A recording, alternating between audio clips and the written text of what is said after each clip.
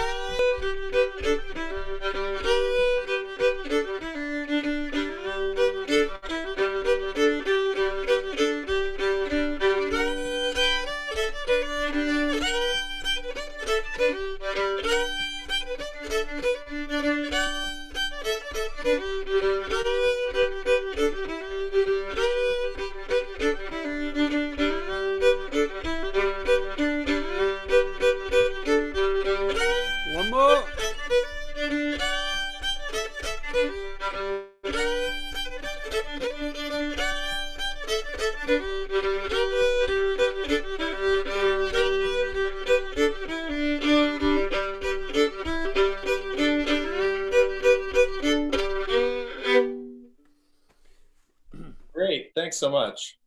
Uh, so this is uh, Ben Smith over in Berlin, Germany, the editor of Old Time Central.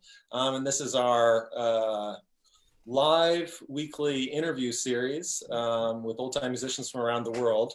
And today we have uh, Steve Blake coming to us from London. And he started us out with a, a Wilson Douglas tune, Wilson Douglas's version of Old Aunt Jenny with the nightcap on. Is that right? Mm -mm. What um, what do you love about Wilson Douglas tunes? Um, well, they're kind of it's like mashed potato or something. They're kind of just solid and well, mashed potato isn't solid; it's soft, but it's like a you know, it's a basic kind of healthy kind of suits all occasions kind of food, isn't it? It goes with anything. I feel like Wilson Douglas tunes are a bit like, you know, I don't have to be in a particular mood to listen to it. Well, I don't with anything, but if you were the kind of person that might need to be in a particular mood to listen to a certain fiddler or kind of tune, just imagining in a parallel world where old time tunes and fiddlers actually sounded different enough for that, then uh, yeah, Wilson Douglas would be the the fiddler you could listen to at any moment. I think it's just um, yeah, it's funky, but not in a really heavily syncopated way. It's just his feel is funky. It's just right. You know, there's there's more syncopated players, and there's there's players that play more bluesily. But I mean, Wilson does a lot of slides, but those slides don't really feel bluesy. I'm not really into. I love the bluesy side of old time, but I don't tend to gravitate towards those kinds of tunes myself to play. Right. I tend to gravitate more, perhaps, to ones that where I can hear the connection with British music a little bit more, perhaps, which is mm. weird because I probably was drawn in by the stuff that sounded more different. Yeah. But someone well, like Thalia or Emmett Lundy, you know, on certain tunes that you, you, could almost almost be listening to Scottish music. You know, this is right. very, very, closely related. You know, a lot of the tunes, so I quite like that. Wilson Douglas doesn't sound like a British player in that way, but um, as I say, he's not particularly bluesy. So I, I like him for that reason. Okay. I like a lot of the well, very simple tunes that he plays, although they're not all simple. You know, like one of the most complicated crooked tunes, Camp Chase, is one of his, isn't it?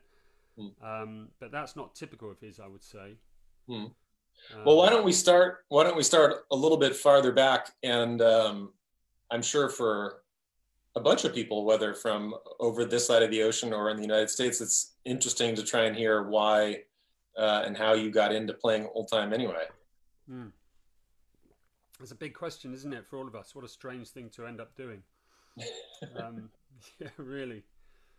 Uh, I don't know how far back to go on that one. I, I, I, I was into country music, some country music. My dad was a big country music fan. I despised it, but I loved. I loved the Flatt and Scruggs record he had, which would have been when Bonnie and Clyde movie came out, and Flatt and Scruggs had the Foggy Mountain Breakdown, and I think it was in the charts in the UK even. Would have been on top mm-hmm. of Pops, possibly. And they had an album around that time, and uh, I loved that. And I loved Johnny Cash, um, which is probably, we'd probably agree, is like a lot nearer to old time than a lot of country. Mm-hmm, sure. Um, well, you've got the connection with the Carter family as well, haven't you, for a start? Mm, right. But um, yeah, when I hated country because it was my dad's music, I always loved those things. So that was kind of hovering there. And then, yeah, I started to, when I started collecting a lot of music in my teens, late teens, um, it wouldn't have been in my late teens that I was collecting old time. I guess in my mid to late 20s, I would have been already picking up in record shops on record covers that caught my eye. It looked interesting, so I would have been buying. I started buying a lot of. Hooley records. By my thirties, I was buying a, anything I saw on. Hooley, and that was quite a common occurrence. There was one very good music shop in Stoke Newington, North London, where I lived at the time, and I'd just buy anything. So a lot of those were country blues stuff, but there was starting to it was starting to filter in the occasional record on a fair bit of Cajun. So mm-hmm. I was mm-hmm. into that kind of roots music through my 30s, but then in about my mid 30s, having been a saxophone player prior to this, um, and during this, I had taken up drumming, which I'd always wanted to do since I was 11, and my mum and dad would never buy me a drum kit. Fair enough. Um, but it just never happened. And then I never lived anywhere where I could have a drum kit set up until I moved to Stoke Newington. We had a big basement in a house that was um, rented to us by, uh, oh, what was his name? Reggae singer. An English reggae singer. I walk down to Electric Avenue. That song. Um, forgotten his name now. Stupid of me. So in this house, I had a drum kit. I was practicing drums, um, and then suddenly somebody threw me a curveball, and that was by giving me a banjo. It was a friend of my uh, choreographer I worked with. I make music for dance, contemporary dance. Mm-hmm. And um, the choreographer I worked with, Lee, her boyfriend Dave, he had some uncles who were quite musical and play. One of them made, one of them makes mandolins. He made, gave me this one. Anyway, um, Dave found this old banjo that was all broken up in his attic, and he just gave it to me. He said, "Steve, you play everything. You you can play this." And uh, I'd never really played a string instrument apart from you know bedroom guitar, a few chords like most people. Sure. And um, this banjo was was the cheapest banjo you can imagine. Nothing fancy. I'm sure it didn't even have a name on it. Um, I'm five string. Five strings, yeah. And I put new strings on it, and I put new pegs on it, and a bridge and everything, and it just about played in tune. Um, and I was just hooked. I was hooked instantly, instantly hooked, and from almost from that moment, that became the main thing I listened to. Huh. Uh, old time. I was just obsessed with collecting old time records. Then I'm 57 now, so I was about 34, something like that. So okay. you know how long ago that was. Um, and do you so, was yeah. was it the was it just the sound or was it like no it wasn't just the sound. do things with it or? It wasn't just the sound. I already loved the sound. My friend uh, mark sanders who lived with me at the time in the house coincidentally uh, is a great free jazz drummer. Really amazing. Top top free jazz drummer in london i would say in my, in my opinion. Um, and he gave me a tape which had a whole load of weird old time some bluegrass stuff, but quite like had a, had a guy telling riddles in a very very strong accent um, that was incredible. And uh, I don't know whether it was an existing compilation that you can buy or whether someone had put it together for him, but it had some really weird stuff. I remember it had Run Mountain. You know that song? J J is it J E Mainer? Don't know. Great tune. Um, Uh, so I yeah I was already into that sound, and as I say, I had all the all Hooley records, but it was really the banjo when I started to work out how that fifth string worked. It just I'd never been able to play a guitar very well, but having an open tuning and the right. way that fifth string, the rhythmic way that fifth string worked, the fact that I was into drumming and right. rhythm, yeah, I was just hooked. I burnt my porridge every single day for I would say a year.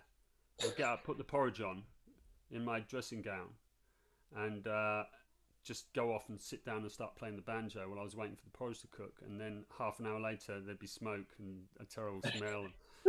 I mean, I'm not okay. Maybe not every day, but I I did that like dozens of times. So do you asso- you associate the smell of burnt porridge with playing the banjo? I I would, yeah, I would. And the next door neighbour came round to um to kill me at some point. I remember. I can't. I'm I'm kind of remembering that I was in. I could hear it going on, but I might have just heard the description later. But the guy came round and he was like trying. They were holding him back at the door, and he was looking behind him. Where is he? Where is he? You know, just he he'd obviously listened to me play the banjo for five months, and then just something clicked one day, and he never said anything. I didn't know he could hear me. Yeah, so I just I just was obsessed. Uh, God, just loved it so much. Um, so you think it was? I mean, there's a. I guess I don't know how common it is, just from but from anecdotes, um, I certainly know plenty of banjo players who come to it from percussion, from drumming, and feel just sort of a very easy affinity with it as a sort of a, a percussion instrument with strings on it. Yeah, yeah, yeah. Well, I know quite a few drummers that play. There's a there's a couple here, good fiddlers that that play drums as well. Um, yeah, though you funnily it was more when I took up fiddle that I saw the connections with percussion than when I played the banjo. Because the banjo, yeah, the banjo for me was about working out. It was very much getting used to playing a stringed instrument and that aspect of it, and where the notes were, and where the notes were in relation with those weird open tunings in relation to the fifth string, and that was what fascinated me more than yeah, I mean, obviously that music's very rhythmic, and as a drummer, I loved that. But it was it was more with the fiddle that I started to see some very very. I still see really close connections with. Like what? What sort of stuff jumped out to you? With fiddling. Yeah. Well, the most obvious one is um, so when you practice drums, one of the main technique things you practice are paradiddles. I guess probably most people listening and probably musicians and probably know this. Sure. So the, I mean, they're, they're, they're geared, I guess, towards balancing your left and right hands, feeling accents in different places. So, I mean, the most obvious one that you would play is right, left, right, right, left, right, left, left, right, left, right, right, left, right, left, left, right, left, right, right, left, right, left, left. Sure. Which is basically Nashville Shuffle, isn't it? Down, up, down, up, down, up, down, up, down, up, down. You know, long, short, short, long, short, short. Yeah. Long, short, short, long, short, short. It's, it's exactly the same thing. Mm, mm, mm. Um, and um, as I said, I was living with Mark Sanders, the great drummer at Stoke Newington. We had two drum kits set up in the basement. Him playing his amazing chopsy free jazz stuff, and me banging along to Faces records on the other side of the room. and uh, he told me this fantastic exercise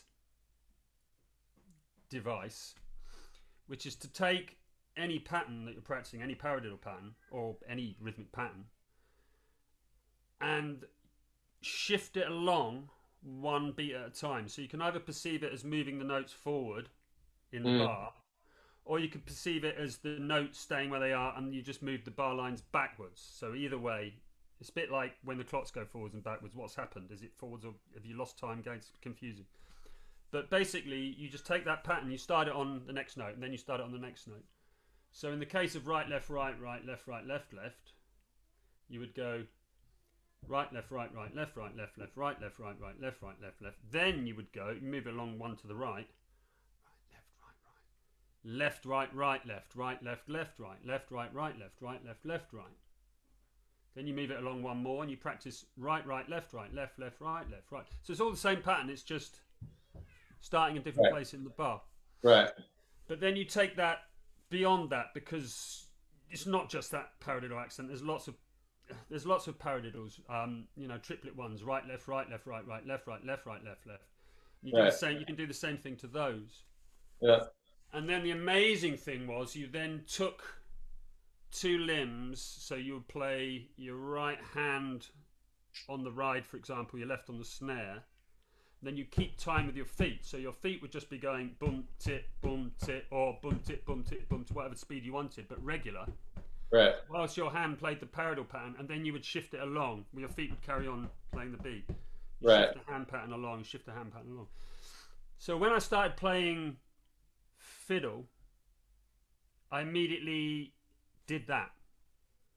So I would practice Nashville shuffle and I'd move it along one and move it along one. You can do it with accents as well. So you put an accent in a certain place and you move that accent along. You move the accent along. Right.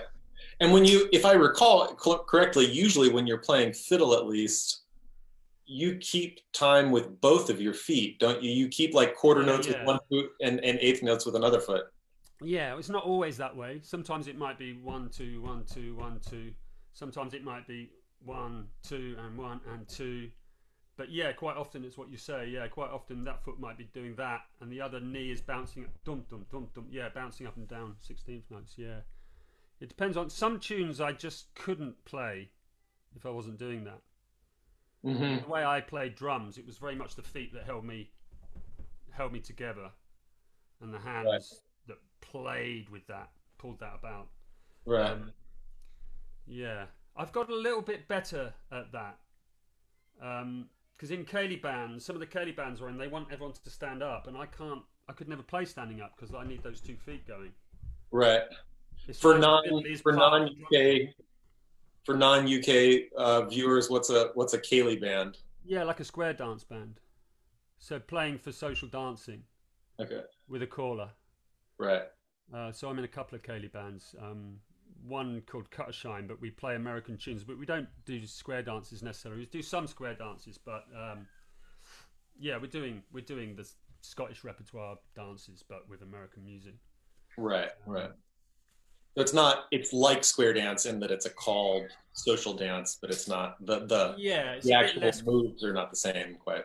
Uh, I'm not a caller. Um, I've not done a lot of square dances. Tony Mates came across from and did some with us, and uh, Joe Bursky, who runs Cut Shine and um, plays bass in it sometimes and banjo, he plays banjo with um, uh, Jude, Jude, Jude, not Jude. Um, Greg Greg Udelman, you mean? Yes. Yeah. Craig. Yeah. He lives just he lives a couple blocks away. Yeah. So uh, he he's he's learnt some square dances, so we chuck them in sometimes. Right. Yeah. Um, yeah, I'm not sure how closely, how much of the square dance repertoire came uh, is related to the Yeah. the. Oh, I'm sure it's a- A long and messy history, like all. Yeah. Which actually, so you got into really playing the banjo as an instrument, and when did you start getting into the the UK old time community? Okay, so that was I think it was fairly soon. I mean, I'd played. I was already playing drums. I'd played saxophone for a long time. Been professional musician already, playing saxophone. So um, it didn't really take me long to learn the banjo. I'm not saying I was good, but you know, I could play the thing relatively Right. quickly. Um, and I bought a nice banjo. I don't know how soon that was. It was probably a few months after I started. Let's say six months at the most. It was less, I think. And I bought a lovely banjo, um, Clifford Essex uh, Concert Grand, Brit- British, made in Bristol in England. Wow. Um, around about 1910, 1920, I think. Can't remember the Mm. exact date. It's uh, it's lovely. It's, it's a bit. It's seen better days. The, the neck's a bit warped and some of the inlay's gone. Um, As long as it plays. so I bought that, and um, then I started to go to a session that was at the time the only session I think in London that I know of, English, uh, American session, and that was um, in Islington, run by a guy called Frank Weston, who still runs it. Um, really nice singer, guitarist, plays a little bit of banjo too. Um, yeah, and it was a great session, really great. At the beginning, there were a lot of really great fiddlers in that session. Um, Mm. Kate Lissauer, don't know if you know her. She's an American fiddle player that lived in London for a long time. Uh, she lives out in Frome, but yeah, she was around. Um, Robin Gillan is a great uh, fiddler. Um, Mark Wallace. Uh, there's a lot, of, lot of good fiddlers and uh, and banjo players. And Tom Paley, I have to mention him. Um, so of course I turned up there. I had no idea who Tom Paley was, and um, I realised quite quickly that everyone respected him quite a lot. They would ask very respectfully when they asked him to play a tune or something, but he never gave an air of being. He he was just such a down to earth and uh, accommodating person. So funny, so funny, and such a brilliant guitarist, such a brilliant banjo player, and everything. Yeah. So that was super inspiring, and they were all so encouraging. When I think back, you know, I had no idea that the music was fiddle led, even. You know, the fiddle was just one of the instruments at that point. So I was learning tunes from, you know, I was learning to play mostly from probably this one, look. like Sure. a lot of people. I mean, how the hell do you work out that stuff without, yeah, you, I didn't have anyone around me showing me how to play, so I was learning from books and then turning up and trying to lead those tunes in the session. And I think, why aren't you joining in? I know you play this tune. Yeah. Still, anyway, they were very, uh, very encouraging and friendly. It was a great session. Cool. Um, would you play us another tune? Yeah. What do you got for us? Um,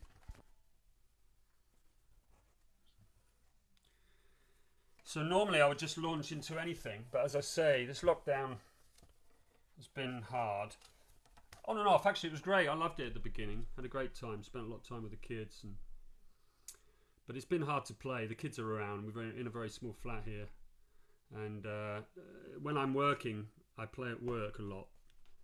In, the time between, uh, I work at um, Laban Conservatoire of Dance, Trinity Laban Conser- Conservatoire of Dance Music, playing dance accompaniment, congas and fiddle in the dance classes, and I practice a lot there. Mm-hmm. And that hasn't been that didn't happen during.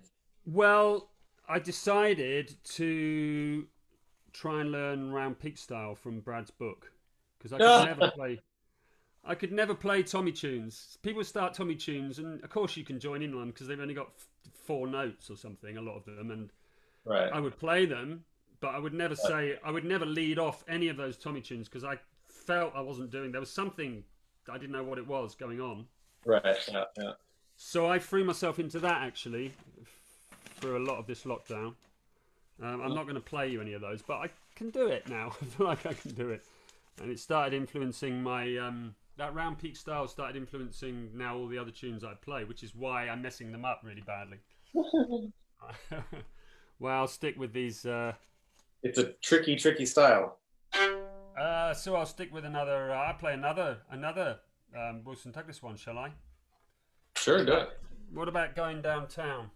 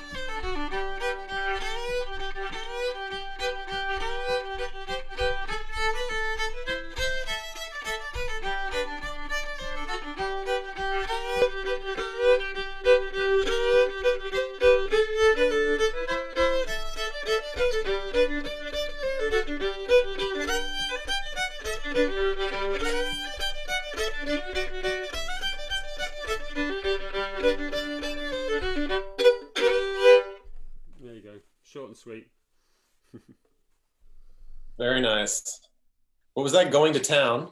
Going going down to town. Going down to town. or going downtown. Going downtown, I would probably call it normally. Yeah. So I'm sure the fiddle players out there will be curious about how you how how the how you attach the fiddle to yourself. How did that how did that happen? Well, you know, as I said, I started quite late. Well, I haven't said that. Yeah, I didn't tell you how I started playing fiddle. You got it. Should we go back to that in a second? Um, I so I didn't start fiddle till I don't know mid forties, I guess. Yeah. Uh, and I'm I've already I'm six foot four. My posture's not great. You know, I'm not that fit, healthy. I spend most of my time playing music. I don't really. I'm playing with my kids. I don't. I don't really keep myself in good shape. The last thing I want to do is start hunching my neck and, you know. I thought I'm just not going to do it. No, it's not. It just it didn't feel right. I could couldn't. I didn't really have anyone to show. I just didn't like the idea. Um, and I'd seen old time players play off their arms, obviously, and I tried that, and I realised my hand felt very constricted by holding the fiddle there. I wanted I wanted to be like this. Didn't want to be like this. Um, I can play some tunes like that, but if it goes up the top string, I can't. I can't really do it. I don't know how people do it. It doesn't stay there. So I knew pretty much straight away that I wanted to tie it on somehow. Um, bit of experimentation. I think first of all I had a big, um, like a nappy pin thing, not a nappy pin, like a popper, but a really big one. Mm-hmm. And uh, I had another little nappy. I had another thing that I pinned to my shirt with a popper on, and then I just popped it on. Okay. But I found it just your clothes just pull. It just wouldn't. Yeah, right. it wasn't supported right. So then I had string. I've now got elastic so that means when I put it on tightly, I get this elastic so it just fits over my head, and then it doesn't pull too far away. Um, I need to. And then what happened then was it ended up sitting too much in the middle. Right. So I couldn't really play on the bottom string right. Right. Um, and I wanted it more at that angle. So I've got another piece of string so this piece is tied round fairly central around the tailpiece and around the tailpiece and the inside part of the chin rest. Yeah. And the other string is tied to make it more over there is tied just round the chin rest. Okay. Mm-hmm. And that goes up to my arm here. Mm-hmm. It's very loose. It doesn't seem like it's doing anything, but it just does enough. Just pulls it over there a little bit, and it also stops it pivoting when you push down on the top on the E string. Right, right. Yeah. Um, so that yeah, I find that very comfortable, very relaxed. I can look around, talk in the sessions. Right. Um, I feel like I'm playing a drum kit, like I was comfortable with before. I'm not playing this weird alien classical thing. I, yeah, I just have no interest in that at all. Right. Um, yeah, there's a downside. If you're in a session in a bar, you know, I can't be bothered to take it on and off sometimes, so I end up going up to the bar going to the toilet with it on. Um, and how and how did you get to playing the fiddle? Ah, uh, so I had no. The same with the banjo. I had no urge to play a stringed instrument. I was playing drums happily, and until someone gave me one. And I had no urge to play the fiddle. It didn't occur to me I would be a fiddle. What a ridiculous endeavour, you know, in your mid 40s to start playing the fiddle. It just seems stupid. Um, but then uh, back to Tom Paley.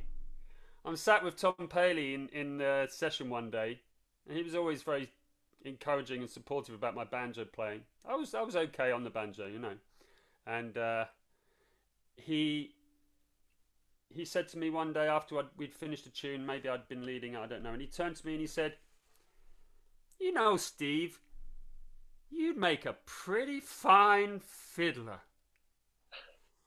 And of course, I was just like, Ah, really? Okay. hmm, really? And, uh, and then maybe six months later, because I'd been mulling it over, six months later, I was at Gainsborough Festival Tom had his stall of fiddles set up there, and he sold me one. hey. Uh, And I remember when I bought it, I thought I'm not ready to play this. 500 quid it cost at the time, which wasn't that cheap, I suppose, but it was the cheaper end of things. Um, and I knew I wasn't going to play it when I bought it. I just thought I'm not quite ready for this, but I'll buy it and I'll take it home and I'll stick it on the shelf and it'll be there when I'm ready to start playing. It'll be there, you know. Okay. So I did actually. I mean, it, it, it, was around for quite a while, and then when I did decide to start playing, oh, just to finish the Tom Paley thing, a few years later, quite a lot of years later, maybe 15 years later, Ed Hicks, I'm sure you know, or you do know. I'm sure Sure. many people know. He's a great banjo player here in London. He um, he's a great instigator of uh, a lot of learn old time um, learning workshops and things. Yeah.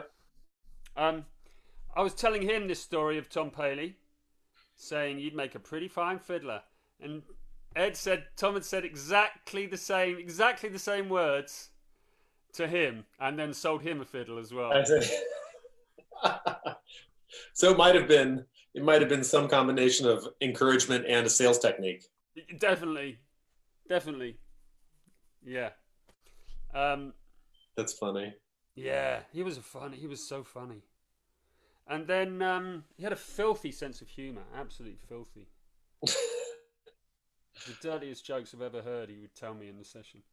Um, anyway, the fiddle sat at home for a while, and then when it came to play it, I just thought I don't know how to even begin to get all that syncopation. I don't want to be worrying about that, so I'll just play English music to start with.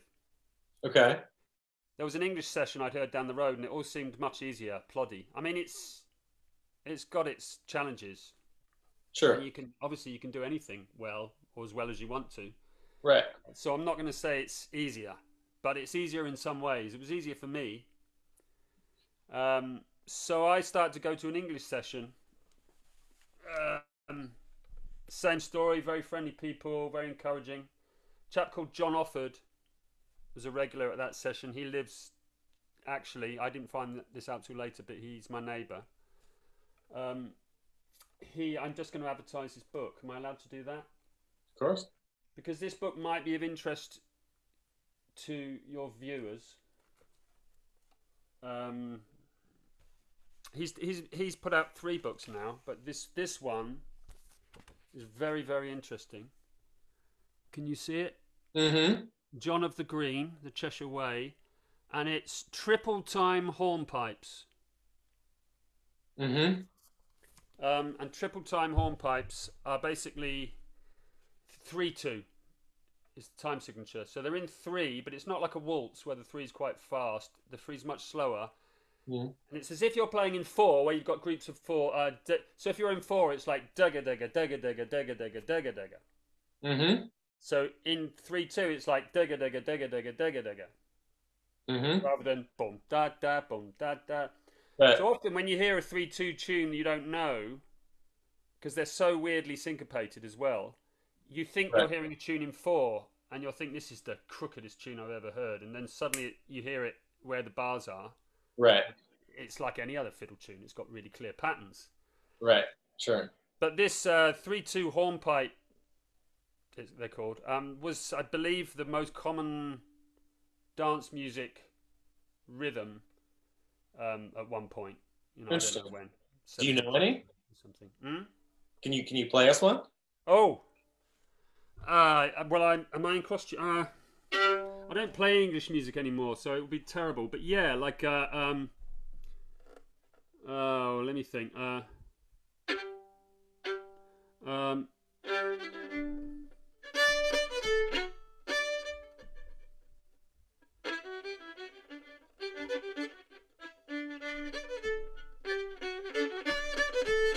yeah.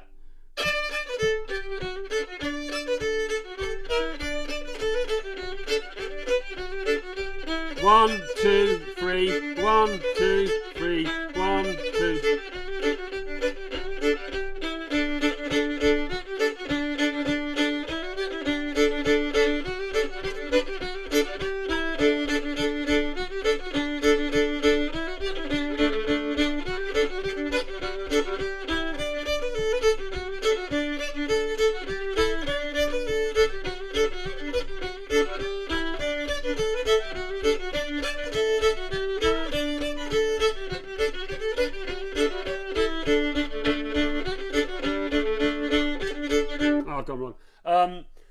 Yeah, that's actually a modern tune written by uh, forgotten his name. Kirkpatrick plays the um, concertina. But yeah, Okay. But that's the feel. but those tunes were pretty much um, forgotten and not really played at all until John put this book out, and then a whole bunch of uh, young English bands recorded some of his tunes from this book on their own. And suddenly, like everyone was playing them, and they're they're they're back in the repertoire again, which is great. Um, So how did you make it then finally to Old Time Fiddle? Um, well, I was really enjoying playing English, and the English at that time the English sessions were good. It's very different from in an American session. It can become it's it's it's like uh, y- y- y- I forgot I've forgotten the phrase, but you're you're losing out as people are added, aren't you? Often the ideal is just three of you, a banjo and a guitar. And, you know, suddenly you've got three guitars and four banjos, and um, I just. Uh, turn this off. Yeah, English sessions are great with a lot of people. You know, if you're in a session where there's loads of fiddles and too many guitars is never a good thing. But you know, you maybe you've got a Diminishing return. euphonium and you've got a bass clarinet and you've got people playing melodeons and I mean, you have to have good players. If there's lots of bad players, it's bad. But Sure. it can be a very rousing sound. A big English session. hmm So I, I loved it. Um, and uh, yeah, it was quite a while before I started playing American stuff. I think. Um, I don't remember. I don't. Yeah, I don't remember when I finally decided to Hmm. start doing it. But at some point, it became you went down the rabbit hole, as one of my friends said, and that you Yeah. you got pretty into it. Yeah, for sure. Yeah, it's very addictive, isn't it? I mean, it's so the fiddle's so challenging, and if you enjoy that challenge, then uh, yeah, it gets rid of it. Eats up a lot of boredom, doesn't it?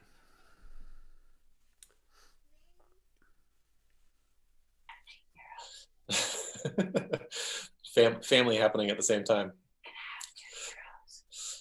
Um, well, it seems like though that it's. I don't know. I guess I'm classifying. It seems like there are some people who get into it just because they're around other uh, people who can really teach them, and so there's that relationship there, and they're just really into a particular style or somebody who's going to teach them. And then there's some people who really get into it as a kind of, I don't know, study, I guess. There's almost kind of a, you know, like a fascination with diving into different players and like the yeah, minutia of, of what's going on. yeah. It was, would have been nearer that end for me because, um, like I say, way back at the earlier session, I was definitely inspired by people like Tom. Um, but yeah, I mean, I'm not the kind of person that I very rarely go to workshops. I can see that they're good and why they're good for other people, but yeah, I just I can learn quick at home, but I can only learn quick in my own way, and I find I'm struggling to follow what's going on. Someone's bowing different from me. I want to know what they're doing, but I don't have time to assimilate it. And uh, yeah, so I've I, I've always I've always done it with old recordings. That's how I learned. And Right. It wasn't really. It was more about an overall sound of what old time sounded like to me. I was I was I won't pretend that I could hear any stuff. Well, I still probably can't really hear regional styles as well as some people. I guess now that I've yeah, I mean Tommy Jarrell sounds very different from any from other players, doesn't he? And the people that learn from him or around Peak style, I can hear that.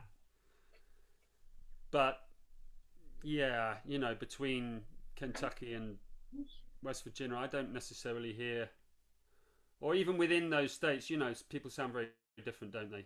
Most Well, they do. Yeah, they sound super different. uh, I mean, just for me, I, I never really picked up on that. So it was more just about the technicalities of how to get something like that sound out of my fiddle. Right. Um, So you would get sort of fascinated with the sound of a particular fiddler and then want to figure out because in, in- like who else you're also really into John Ashby that right That came a lot later, and he's not typical of the kind of tunes I like because he's quite fluid, isn't he? And he plays with Yeah. really nice sound and intonation. I mean, at the beginning, it's weird, isn't it? How your, you know, what you're aiming for changes. your goals change a lot as you play because at the beginning I just wanted to sound like the roughest, you know, most esoteric kind of field recordings that I could find that I, I, had. You know, I loved that. Just like this sounds like it comes from a different world and a different time, and mm. I wasn't really after a slick, polished sound at all. But then, of course, as you get into it, you realise there's a huge amount of technique going on in you know in the recordings that you thought were, you know, somehow rough. I mean, they're only rough right. in certain ways. This is you know, like with Tommy Jarrell, for example. You know, sure. It's like it's just like but I've always been very dubious about that whole idea of feel in music. You know, some people have good feel and some people don't. Mm-hmm. And like, I mean, it's true, but I don't think feel is something that's like. It's it's just another aspect of technique, to me. Some okay. People, some people can learn that aspect of technique easily. Yeah. And other people can't. But I think those the people that don't learn it easily can still be taught that. I think. Right. Um, to some extent. Uh, yeah, but I used. Uh, I've always used the um, slow downer for for using for for learning. I was really into Salia tunes for a long time. Emily uh-huh. yeah. tunes. Um, you play us one of your favorites from when you were when you were getting started out. Okay, let me see. Oh, perhaps I'll retune. Can I just retune? Yes, you can. Half a full time, isn't it? Retuning.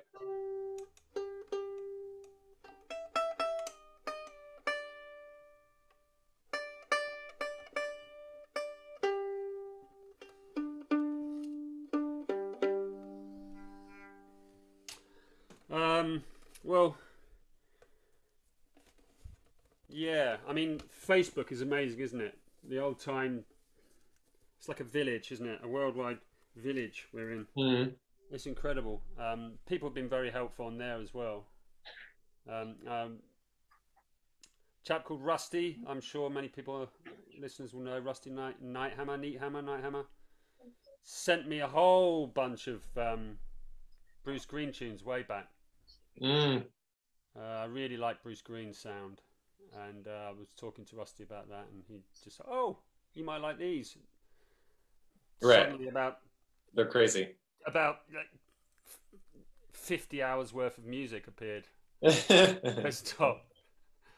Uh, so uh, yeah, I play one of his, which I've since found is a Jim Bowles tune. Okay, a Bruce Green, a tune you learned from a Bruce Green recording. I learned it from the Bruce Green re- recording. I what never really, I never really amended it. Sometimes I'll, if I find an earlier source for something, then I'll kind of learn that as well and lean towards that. But I didn't with this one. Hmm. Cool. Okay. What's it called? Uh, Calico. Oh yeah. So cross A. I'm playing in cross G. Okay. Yeah. More I will be. I will be if we don't run out of time. Well, no, we're good.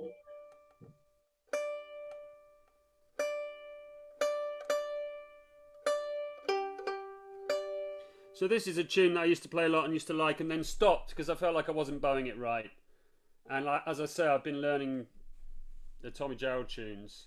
So uh-huh. some of the stuff I've absorbed from that, I've started to apply to earlier tunes that I wasn't happy with. Right. So this is probably one of those. Um, I know it's not a round peak tune, but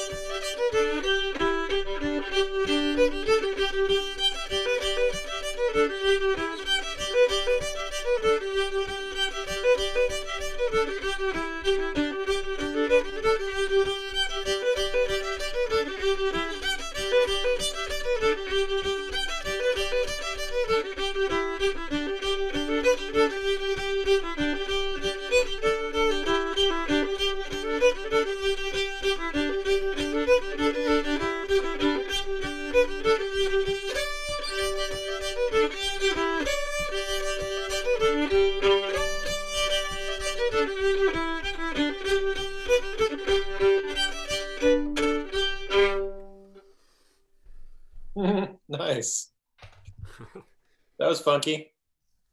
Yeah, I'd like to play a bit faster, but a bit rusty at the moment. I haven't played in a session for. Yeah, I find sessions really do help with your speed, don't they? I mean, some tunes don't need to go fast. I'm, I'm I've never aspired to be a fast player. Right. Some tunes I like a lot slower than a lot of people play them, but that one is nice, a bit pacier. Yeah. Yeah. So what has you haven't played in a session in a while? What's what's what's been going on during during these crazy Corona times in London or the UK generally? Yeah.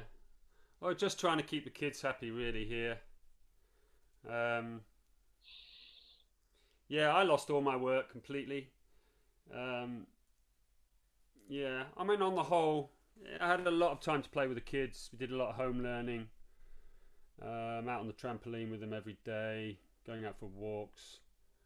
Um, yeah, just really, really geared towards them for most of it. But mm. we just got worse and worse at that after a while, and um, everyone started doing their own things. Kids staring at the iPads. I'm glad they've gone. Stanley's gone back to school today, thank goodness. Um, Vivi starts in uh, primary school on Friday. That's my daughter. She's four. Mm. Um, and yeah. what about work at the conservatoire? Has that started again too? Well, they've been paying me throughout, but I didn't do many hours there anyway, so that's not been a great help. I got some fund from the Arts Council. I have to apply for a second batch. But uh, no, I mean, just lost so much work. I mean, half, more than half my work was playing at the weekends for weddings and things. Right. And gigs. Well, the old time wasters gigs never paid really, unless it was. A, yeah, I mean, a festival would maybe the most we'd get, and that would be at least half of what we were getting in a Ceilidh, you know. So uh, right. uh, yeah, it was cut, cut shine the band I was in, the Ceilidh band. Um, we we were quite busy, so that's been really tough. I don't know when that's going to start. So even in the UK, you can't make money playing old time. yeah, you can make literally tens of pounds. Yeah, yeah. Um, yeah. Well, you know, I play. I play at the conservatoire. I play old time tunes for the dance classes. Uh, no one's complained yet. yeah. They haven't gone to the ombudsman and been like, "What's this guy doing?" we, well, so uh, that's also I mean, a question I've always been very interested in, which is, you know, there, there, you've played lots of different kinds of music throughout your life, and you still play different kinds of music. Why? Why do you continue to spend so much time playing old time? Uh, so I don't really play other types of music. Um, I, I, write music for a choreographer, a contemporary dance company, which we lo- well we lost our funding about ten years ago. So we've struggled to make work since then. Uh, I've worked for a couple of other people since, and that's never been up old time or even really rootsy music at all. I keep trying to find an opening where I could use that, but it's just never really applicable. Um, um, but I don't play that. That's just what I do for work when I'm making soundtracks for something. Mm. Uh, it's not like I have a band that goes out and plays that stuff. Right. Um, I don't play drums anymore, apart from congas at the dance school. So I, yeah, I only play old time now. Um, well, you guys play old time for Cut a Shine as well, or? Yeah, Oh, so you just show up to a Ceilidh and play American music? Yeah. They don't nice. know any difference. People don't right. know any difference. Occasionally, if they've specified they want Scottish, you know, if it's like a Scottish wedding and they, they, they want Scottish music, we'd either say that's not what we do, or we, you know, they might say, oh, that's all right. Can you put some Scottish tunes in and we, we can play a, some uh-huh. Scottish tunes. But or you just play the old time tunes and start them off by saying, "This is a this is an obscure Scottish tune from." Well, unless you're a real aficionado or a player, it's you know fiddle music for dance is, is, it serves the same purpose, doesn't it? Really. Right. Yeah. Um, That's what makes it. A lot of the old time tunes, you know, a lot of the old time tunes, as I say, sound quite Scottish, perhaps. Um, most people, mostly people wouldn't notice. They probably think they, most people in Britain probably think you're playing Irish music. That's what they think. They probably don't. They're not aware that there's other fiddle traditions, probably. Anyway. Can I tell a little story, which is that you know we over here in Berlin we play, you know, we often have jams in parks. If the you know if the weather's nice, then we'll just meet up. You know, several of us have kids or whatever. It's just nice to play outside. We live in apartments, so we don't have gardens, so we often just play in the park.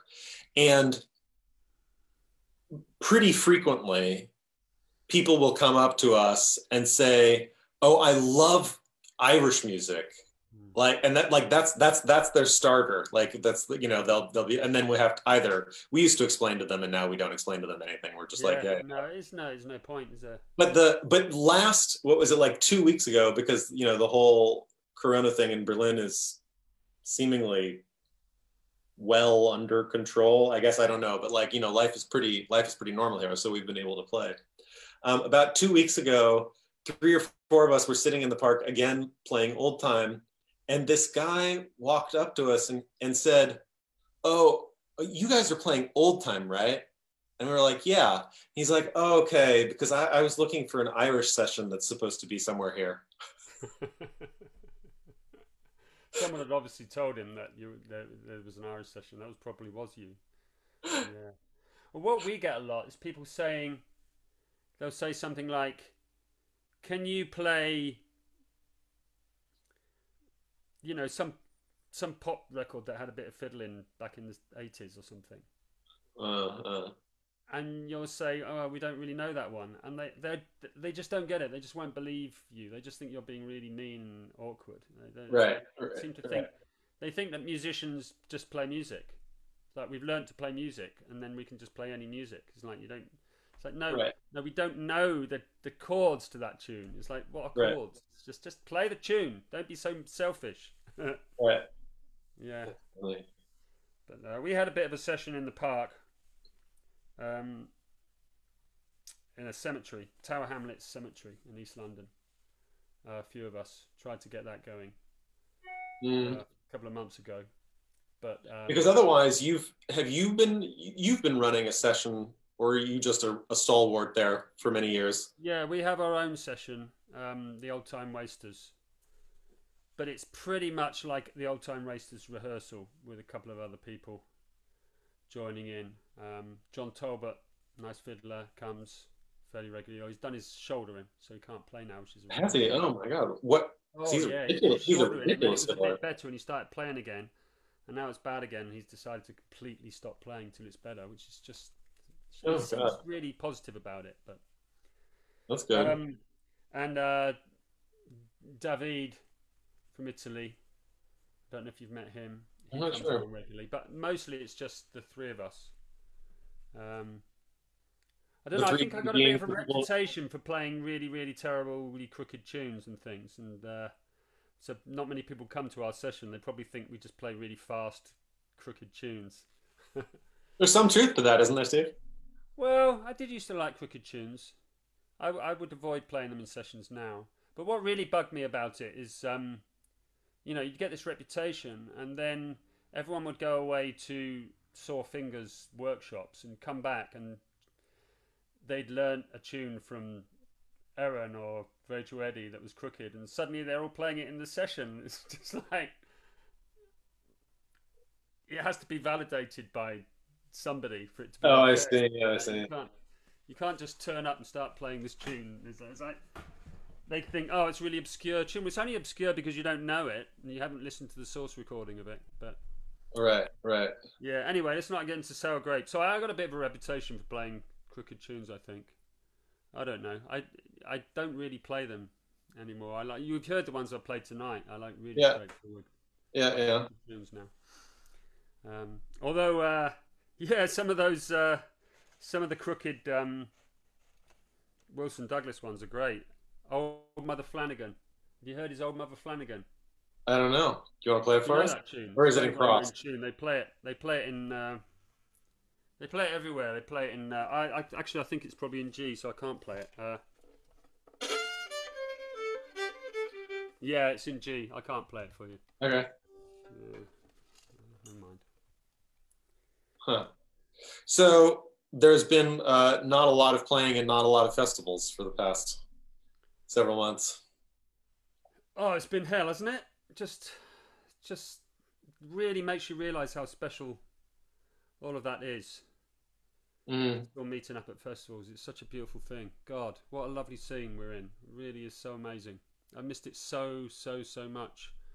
Isn't it just going to be the greatest party when it when it starts up again? it's going to be so good. Are we going to be able to play any tunes, or are we just going to sit there and and uh, smile at each other and drink beer and well, whatever. Revel in the fact that we can do it again. Maybe a few tunes. We've Maybe got some things starting up. We've got um, a great fiddle and banjo player from down in Brighton called Dan Stewart. He's having a get together in a field. Nice. Uh, next weekend or the weekend after? Maybe next Uh-huh. weekend. Um, so that'll be lovely. Really looking forward to that. yeah.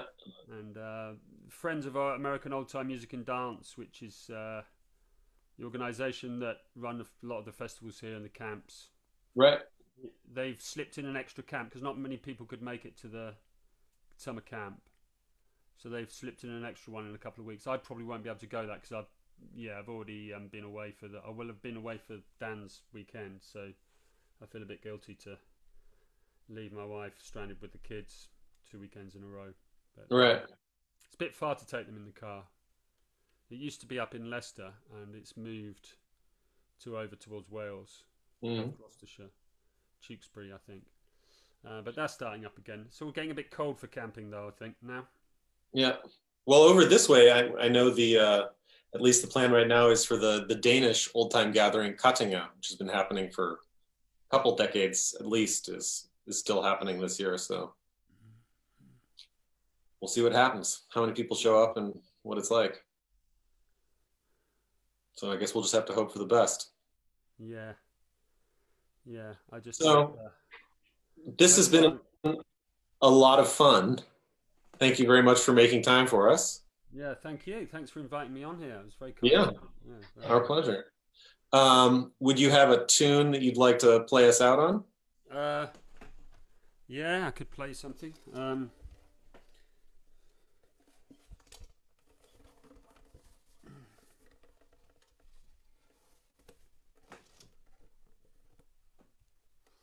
these mics, by the way, a friend lent it. It's called uh, an AccuSound. Mm-hmm. Very good. Very Mm. good for recording. Yeah, great. I think string quartets use them. They're quite pricey, you know, maybe 250, 300 quid. Okay. But um, yeah, really nice. Nice. Excellent. Well, half the sound's that, half is this uh, other thing over here. But Sure. um, yeah, no. what shall I play? Uh, how about um, another one? Another one I got from Bruce Green. So there was about two years where all I did was learn from these Bruce Green recordings that Rusty has sent me. Uh, Good two years. um, so this one I just found out today by looking on uh, Bruce Green out because he I got this from a bootleg, but Bruce plays it on that River of Time CD. Okay. and I just looked on there today. It's from a guy called Wellesley Chrisorn, I think. I don't know if I'm saying that right. Wellesley Chrisorn um, from North Carolina. But uh, I got it from Bruce Green. Yeah, it's uh, sheep, sheep's in the meadow and cows in the corn. Cool.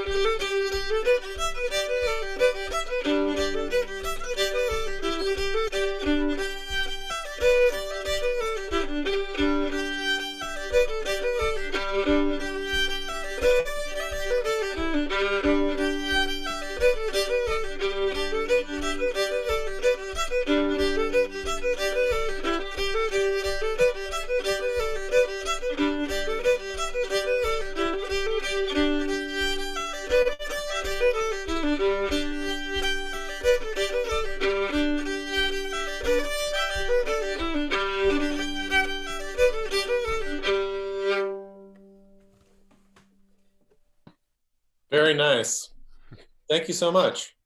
Another one that should probably go a bit faster, but uh, That's all right. Okay. back to me when the lockdowns ended. All right.